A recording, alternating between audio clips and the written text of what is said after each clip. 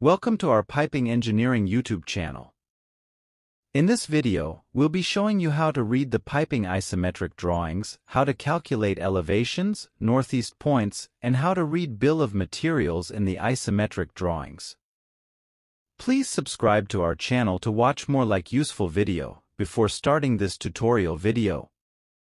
Also, we prepared a 3D model of this pipeline and put the 3D model together with the pipe drawing for you easy reading and understand piping isometric drawing. This pipeline number is 1DTSCZ0190-1.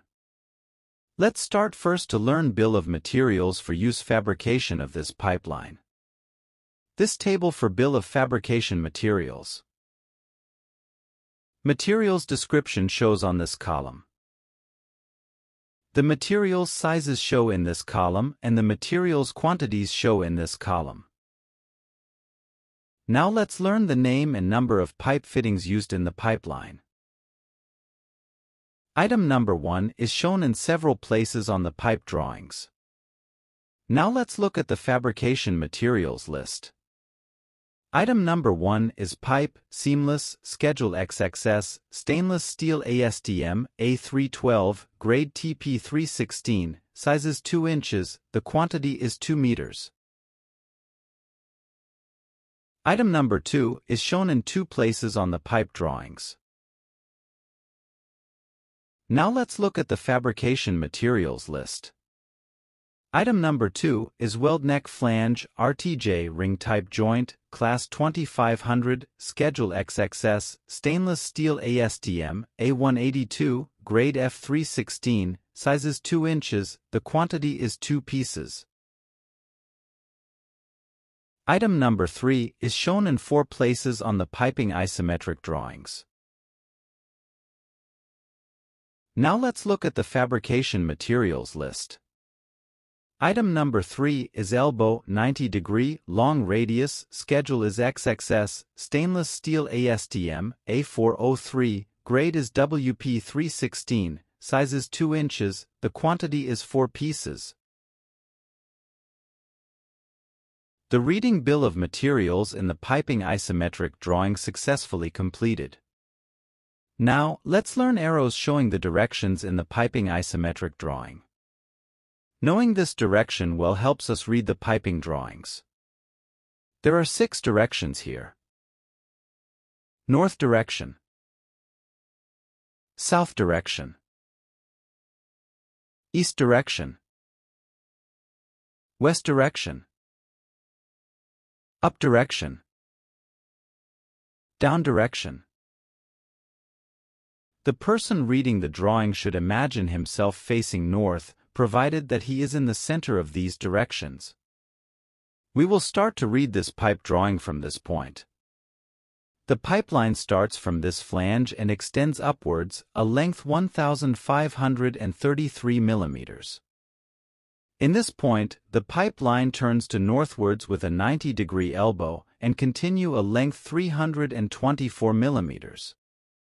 Then, pipeline turns to upwards with a 90-degree elbow and continue a length 256 millimeters. In this point, the pipeline again turns to northwards with a 90-degree elbow and continue a length 502 millimeters. At last, the pipeline turns to the eastwards with a 90-degree elbow and continue a length of 1076 millimeters and reading piping isometric drawing also successfully completed. Now, let's learn elevations showing in the piping isometric drawing. As you can see, the elevation of the starting point of the pipeline is 20,717 millimeters. After the pipeline rose 1,533 millimeters upwards, the elevation was 22,250 millimeters. We can easily check the correctness of this elevation. 20717 plus 1533 equal is 22,250 millimeters.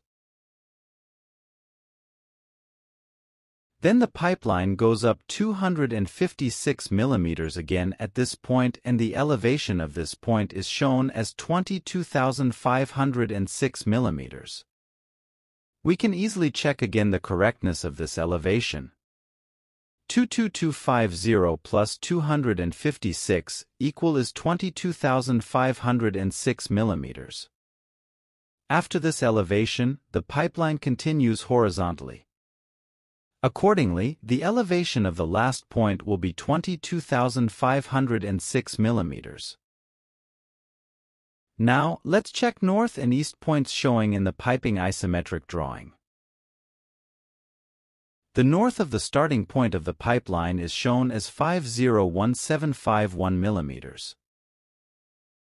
The pipeline first traveled 324 mm towards the north and then 502 mm. We can easily calculate the north of the last point of the pipeline. 501751 plus 324 plus 502 equal is 502,577 millimeters. Now, let's check east point showing in the piping isometric drawing.